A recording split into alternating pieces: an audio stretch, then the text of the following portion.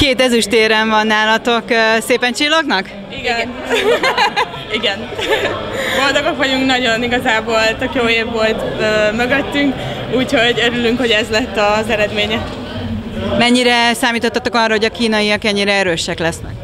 Azért számítottunk rájuk, hiszen volt már itt Szegeden világkupa, ahol sikerült nekik is dobogózniuk, ahol minket megvertek, úgyhogy sejtettük, hogy most a világbajnokságra fel fognak készülni, főleg így, hogy már csak egy év van hátra az olimpiáig. Azt mondom, hogy van két ezüst, de van még mellette egy olimpiai kvóta, és akkor az úgy jól hangzik, nem? Persze, igazából az idei elsődleges célja a kvótaszerzés volt.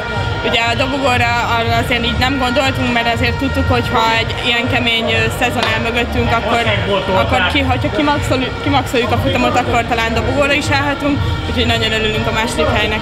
Van azért hiányérzet bennetek? Bennem akkor lett volna, hogyha nem tudjuk maximálisan kiállítani magunkat, vagy esetleg egy olyan hibát csinálunk, ami, ami miatt lecsúszunk az első helyről, de, de tényleg kihajtottuk magunkat, úgyhogy boldogok vagyunk. Én egy kicsit a rajtot sajnálom, mert kétszer kellett indulnunk, úgyhogy ott úgy éreztem, hogy még lehetett volna valamit még pluszot hozzátenni, de majd rá fogunk erre is fektetni nagyobb hangsúlyt, hogy jobban menjen.